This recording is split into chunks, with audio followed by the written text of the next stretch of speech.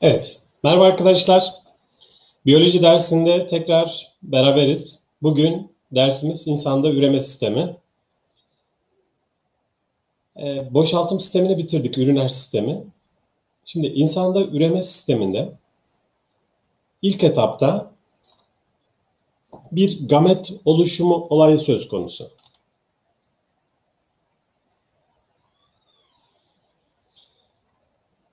Anneden yumurta oluşuyor, babadan sperm oluşuyor. Bu olaya spermatogenez diyoruz. Bu olay ise oogenez diyoruz.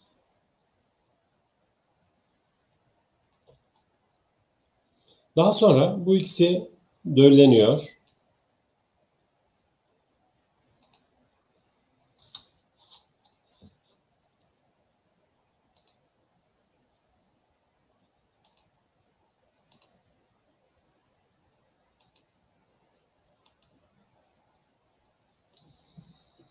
Dölleme olayından sonra zigot oluşuyor ve zigot gelişerek yeni bir canlıyı meydana getirmiş oluyor arkadaşlar. Şimdi bu süreci detaylı bir şekilde anlatacağız. Önce erkek üreme sisteminden başlayacağız. Sonra dişi üreme sistemi.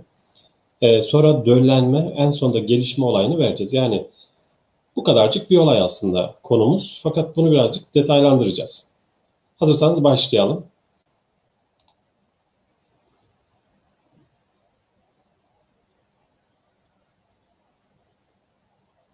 Erkek üreme sistemi ne yapıyor? Sperm hücrelerini üretiyor. Spermlerin dişi vücuduna aktarmasında görev alıyor. Evet, beş kısımda inceleyeceğiz. Testis, epididimis, vas deferans,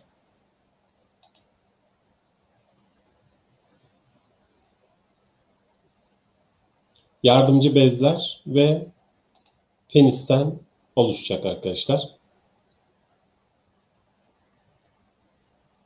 Şimdi şekil üzerinde gösterdikten sonra bunları tek tek inceleyelim. Öncelikle erkeklerde iki tane testis var.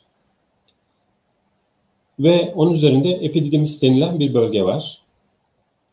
Vas deferans kanalı, yardımcı bezler ve üretra ile dışarı atılıyor. İdrar ve sperm aynı kanalla dışarı atılıyordu burada. Testisin iç kısmını kestiğimiz zaman Şöyle bir yapıyla karşılaşıyoruz. Seminifer tüpleri var burada çok sayıda kanallar var ve bunların iç yüzeyinde spermler oluşuyor. Şu aralarda da Leydig denilen hücreler var. Aynı zamanda burada sertoli hücreleri de var arkadaşlar. Bunların ne işe yaradığını anlatacağım şimdi tek tek. O zaman ilk olarak testisler ne iş yapıyor? Epididimis ne yapıyor? Vas deferans, e, yardımcı bezler ve penisin ne işe yaradığına bakalım. Evet, erkek üreme sisteminde sperm hücresi üretiliyor ve spermler dişi vücuduna aktarılıyor. Testis dediğimiz yapı Evet, penisin sağ ve sol tarafında iki tanedir. İçerisinde seminifer tüpleri var. Bu yapılar içerisinde bulunan spermatogoniumlar sperm hücrelerinin üretilmesini sağlıyor. İçinde bulunan Leydig hücreleri testosteron salgılıyor. Sertoli hücreleri de spermlerin beslenmesini sağlıyor. Yani spermatogonium, Leydig, sertoli hücreleri olmak üzere üç farklı hücre tipinden bahsedeceğiz burada. Ne işe yarıyor? Spermatogoniumlar sperm hücresi üretiyor. Leydig testosteron salgılıyor. Sertoliler ise spermlerin beslenmesini sağlıyor.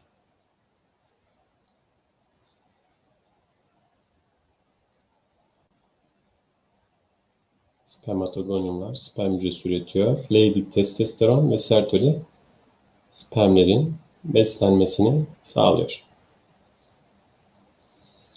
Evet, şimdi epididimis'e bakalım. Epididimis, spermlerin hareket ve döllenme yeteneğinin kazanmasını sağlıyor. Burası uzun kanallardan oluşuyor. Yaklaşık 7 metre uzunluğunda kanallar var arkadaşlar burada.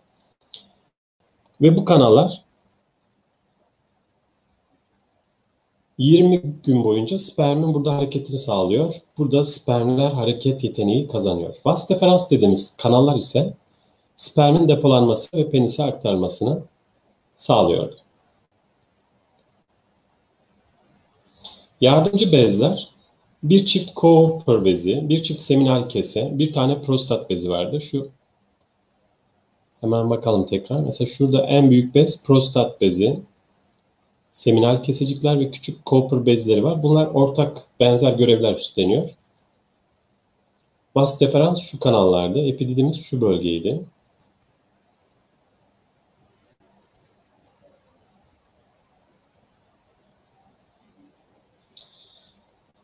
Bu üç bez de seminal sıvı üretiyor. En büyük yardımcı bez prostat beziydi. İdrar ile spermin karışmasını önlüyor arkadaşlar ve bu bez e, erkeklerin çoğunda belli bir yaştan sonra büyüyor. E, kanser olayı çok gözleniyor. Erkeklerden çok gözlenen kanser tipi prostat bezi kanseri. Seminal sıvıya bakalım. Spermlerin beslenmesini ve hareket etmesini sağlıyor. Kaygan bir sıvı arkadaşlar bu. Diş üreme sistemi içerisinde spermlerin bir süre hayatta kalmasını sağlıyor. Çünkü diş üreme sisteminde e, asidik bir ortam var. Ve bu asidik ortamdan koruyor bu yapı. Penis spermlerin ve idrarın dışarı atıldığı yerdir. İçerisindeki kanala üretra deniyor. Üretra hem boşaltım sistemi hem de erkek üreme sisteminin sonudur arkadaşlar. Yani erkeklerde bu ortaklık söz konusu ama kadınlarda böyle bir durum yok. Şimdi ilk olaya bakıyoruz. Spermatogenezden bahsedeceğiz biraz. Spermatogenez, spermatogoniumların mayoz ile sperm üretmesi olayı. Burada mayoz bölünme var. Ve spermler üretiliyor. Ergenlikte başlıyor bu olay.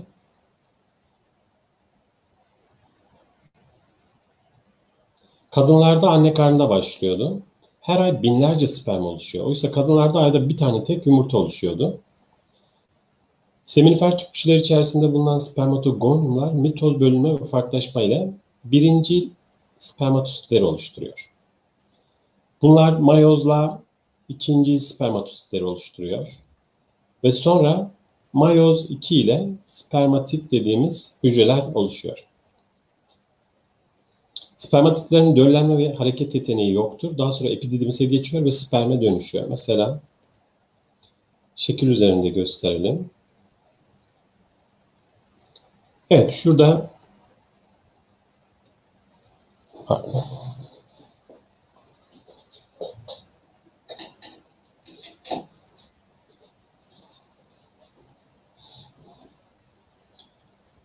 Sperm ana hücreleri var spermatogoniumlar. Bunlar mitoz bölünmeyle çok sayıda yine kendilerinden hücreler oluşturuyorlar. Ve daha sonra FSH etkisiyle bölünme başlıyor. Burada önce interfazını geçiriyor. Birinci spermatosit dediğimiz hücreler oluşuyor. Sonra mayoz bölünme geçiriyor. Mayozda ikinci spermatosit, birinci spermatosit 2N, ikinci spermatosit N. Normal mayoz bölünme var burada.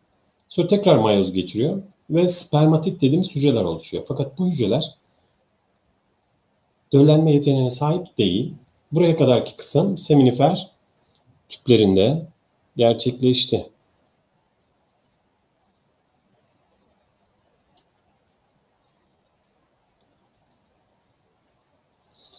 Bundan sonraki kısım ise epididymis dediğimiz bölgede.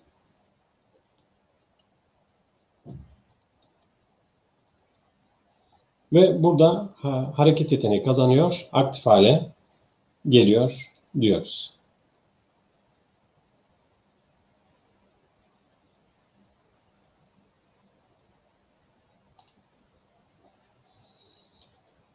Evet. Spermatitler epidemisi içerisine girerek burada döllenme ve hareket yeteneği kazanıyor ve böylece sperme dönüşüyor.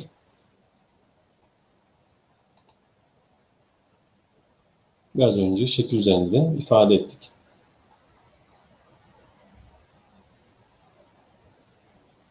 Peki sperm hücresi nasıl bir yapıya sahip? Biraz da ondan bahsedelim. Sperm hücresi baş, boyun ve kuyruk kısmından oluşuyor. Baş kısmında en kromozomlu çekirdek ve akrozom bulunuyor. Akrozom bol miktarda sindirim enzimi içeriyor. Yumurta hücresinin zarının erimesini sağlıyor. Şöyle şekilden gösterelim. Evet şu bölge baş kısmı, şurası boyun kısmı ve şurası boyun dediğimiz şurası mitokondrinin olduğu bölge ve kuyruk kısmı. Baş kısmında akrozom var, çekirdek var. E, boyun kısmında mitokondri var. Baş ile boyun arasında sentrozom var. Sentriyollerden bir tanesi kuyruğu oluşturuyor, bir tanesi ise döllenmeye katılıyor arkadaşlar. Evet, baş, boyun ve kuyruk olmak üzere üç kısımdan oluşuyordu. Baş kısmında en kromozomlu çekirdek ve akrozom var. Akrozom bol miktarda sindirim enzimi içeriyor dedik. Golgi ve lizozom var.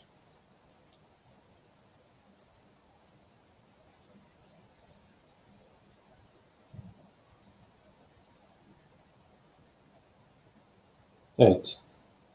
Yumurta hücresinin zarını eritiyor. Boyun kısmında bol miktarda mitokondri var.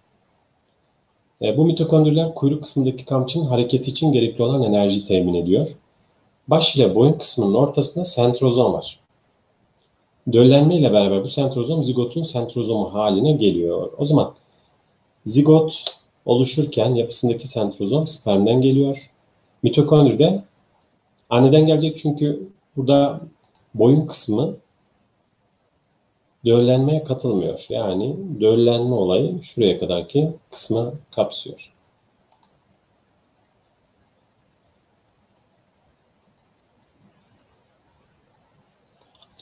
Peki erkek üreme sisteminin hormonal kontrolü nasıl? Ona bakalım.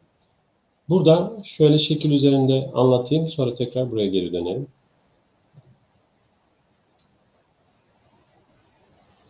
Erkek üreme sisteminde hipotalamus beyin bölgesinde hipofiz uyarıyor GnRH ile. Daha sonra hipofizden FSH ve LH salgılanıyor.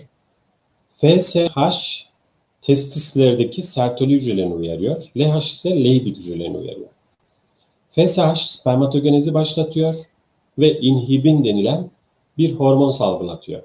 İnhibin negatif feedback yapıyor ve fazla üretilmesini engelliyor. Spermatogenezin normal miktarda gerçekleşmesini sağlıyor. Leydig hücresi ise testosteron salgılatıyor LH etkisiyle. Peki testosteron ne yapıyordu? Sperm hücrelerin olgunlaşmasını sağlıyordu. Aynı zamanda negatif geri bildirimle hipotalamus ve hipofizin salgısını durduruyordu. Anlaşılıyor değil mi arkadaşlar bu bölgeler? Bunlar önemli. Üç tane hormondan bahsedeceğiz aslında. FSH, LH ve testosteron. Dişilerde biraz daha fazla sayıda bulunuyor. Bunu bir de sözlü olarak görelim şimdi. Evet, GnRH hipotalamus tarafından salgılanarak hipofiz bezinin ön lobundan FSH ve LH salgılatmasını sağlıyor. Hipofiz hormonları FSH hipofizin ön lobundan salgılanıyor. Seminifer tüpçüklerindeki sertoli hücrelerini uyararak spermatogenezi başlatıyor. LH ise yine ön lobdan salgılanıyor. Leydig hücrelerini uyararak testosteron hormonu salgılatıyor. Testosterona bakalım. Leydig hücrelerinden salgılanıyor. Spermlerin olgunlaşmasını ve ikinci leşe karakterlerin oluşmasını sağlıyor. Neydi ikinci leşeksel karakterler? Sperm oluşumu. Bunlar birinci karakter ama sakal bıyık çıkması, sesin kalınlaşması. Yani üremeyle direkt ilgili olmayan bölgeler ne oluyor? İkinci karakter. Aynı zamanda negatif geri bildirim ile FSH ve LH'ın salgısını aynı zamanda GnRH salgısını ne yapıyor? Azaltmış oluyor. Anlaşıldı herhalde değil mi bu bölge? İnhibine bakalım. İnhibin hormonu testis içerisindeki sertoli hücreleri tarafından salgılanan FSH hormonunun salgılanmasına engel oluyor. Bu da testosteron gibi negatif feedback yapıyor ama sadece FSH engelliyor. Şöyle tekrar bakalım. Evet gördük. Şöyle GnRH hipofizi uyarıyor. FSH, LH. İnhibin hipofizi uyarıyor. Testosteron fazlalığı her ikisinde hatta bütün hormonları durduruyor.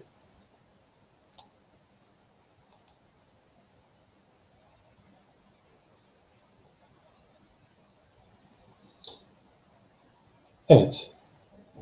Dişi üreme sistemine bakalım şimdi. Dişi üreme sistemi insanlar eşeyli üreme yapan canlılardır. Dişilerde ve erkeklerde aynı amaca hizmet eden üreme organları bulunuyor. Bu organların yapıları birbirinden farklıydı. Mesela erkek üreme sistemini birazcık daha farklı gördük. Dişi üreme sistemi farklı. Dişi üreme sistemi yumurta hücresini üretiyor. Doğuma kadar fetüsü taşıyor. Evet. Yumurta hücresi fetüsü taşımak ve hormon salgılamakla görevli bir yapı.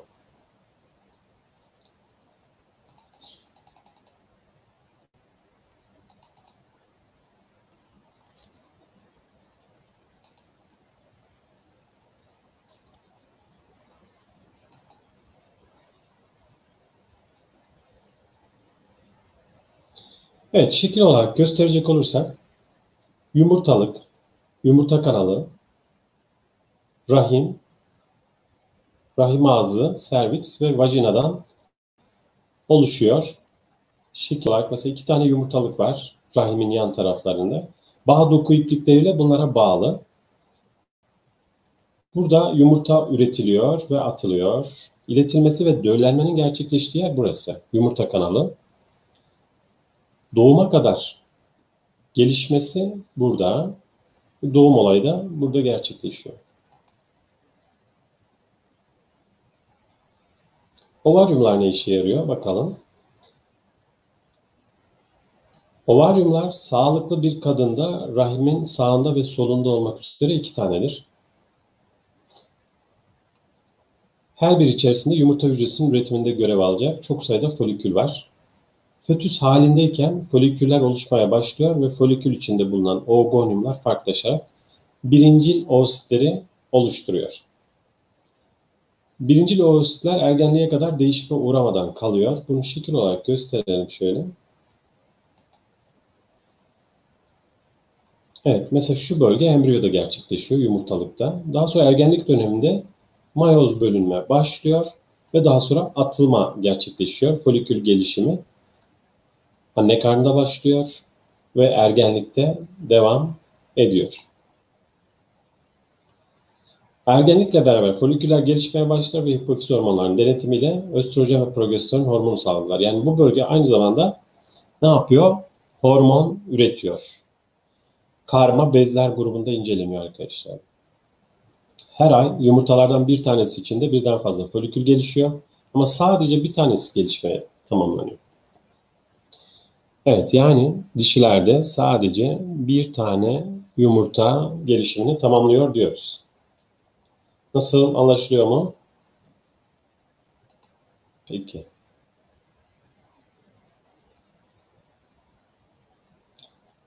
Fallopi tüpüne bakalım.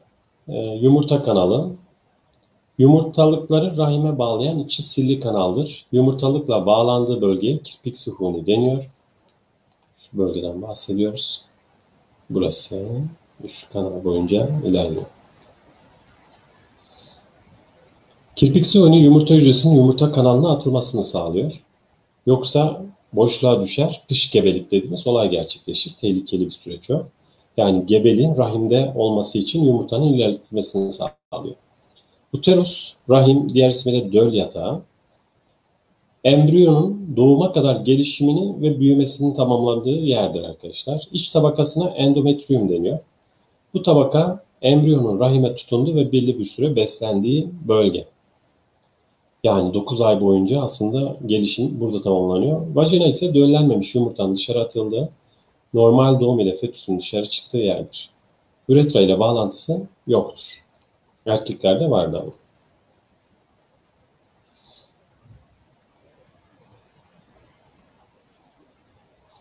Oogeneze bakalım. Üreme ana hücrelerinin mayoz bölünme ile üreme hücreleri oluşturmasına gametogenez deniyor. Gametogenez kadınlarda oogenez, erkeklerde spermatogenez şeklindeydi. Spermatogenezi işledik zaten. Bir sperm ana hücresinden dört tane sperm oluşuyordu. Evet, şimdi oogeneze bakacağız. Oogenez dediğimiz olay yumurta üretimi olayı. Yani yumurta ana hücresinin mayoz ile yumurta hücresi üretmesidir. Kadınlarda Oogenez fetüste başlıyor. Menopozla bitiyor. O yüzden erkeklerde ergenlikte başlayıp ölene kadar devam ediyordu. Fetüs halindeyken orgonyumlar mitoz bölünmeleriyle primer yani birinci loosite dönüşüyor ve bu şekilde kalıyor ergenlik dönemine kadar. Ergenlikle beraber her ay bir tanesi yumurta hücresine dönüşüyor. Evet, şurayı bir inceleyelim şekil üzerinden. Sonra tekrar yazıya dönelim. Bakın, oogonyumlar bunlar nedir? Birincil, evet, oositleri oluşturan yumurta ana hücresi. Mitoz bölünmelerle çok sayıda oogonyum oluşuyor. Mayoza başlayan hücreye biz birinci oosit diyoruz. Ve artık profaz bir evresinde başladı mayoz ama burada duruyor. Folikül gelişimi başlıyor. Ee, henüz tam gelişmemiş. Embriyoda duraklıyor. Çocukluk döneminde yumurtalıklar pasif, hiçbir faaliyet yok. Daha sonra ergenlik döneminde FSH etkisiyle birinci lositler kaldığı yerden devam ediyor.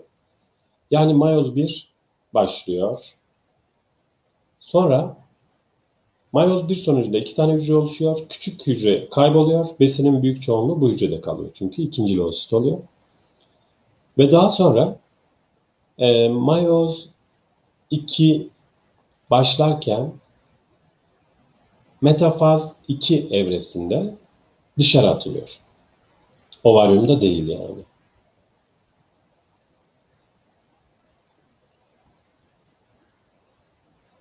Ve daha sonra döllenme olayı gerçekleşirse korpus luteum, şuradaki folikül kesesi hormon salgılamaya devam ediyor.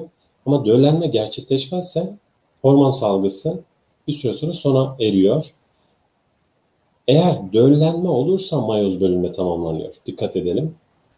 Normalde metafaz 2'de döllenme gerçekleşirse mayoz bölünme tamamlanıyor ve zigot oluşuyor. Döllenme tamamlamazsa, olmazsa yani mayoz tamamlanmadan dışarı atılıyor.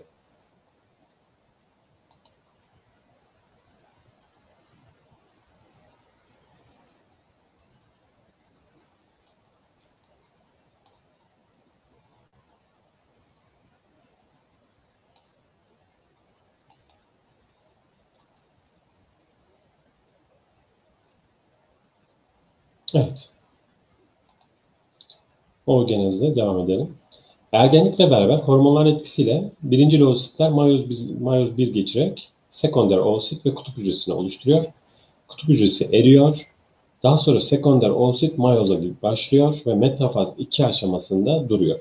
Buradan folikül içinden çıkarak dışarı atılıyor. Ovülasyon dediğimiz olay gerçekleşiyor. Yumurta kanal içerisinde sperm ile karşılaşırsa döllenerek mayoz 2'ye kaldığı yerden devam ediyor. Yumurta hücresi oluşuyor. Oluşan yumurta hücresiyle sperm hücresinin çekirdeği kaynaşıyor. Bol sitoplazmalı döllenmiş yumurta hücresi, az sitoplazmalı. Evet, ikinci kutup hücresi oluşuyor. Kutup hücresi zamanla kayboluyor. Evet.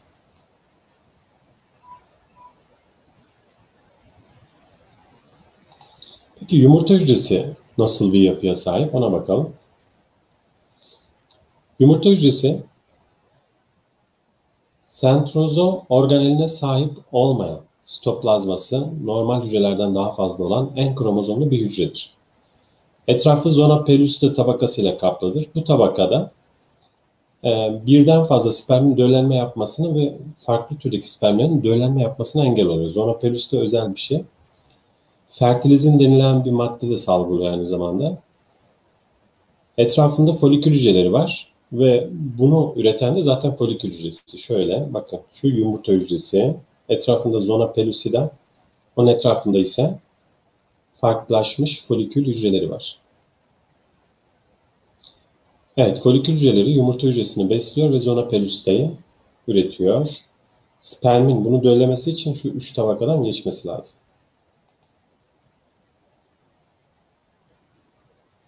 Peki dişi üreme sisteminin hormonal kontrolü nasıl gerçekleşiyor? Ona bakalım şimdi.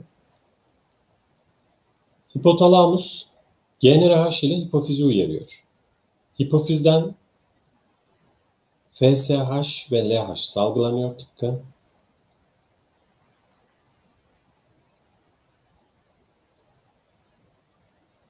Tamam. Bitiriyorum.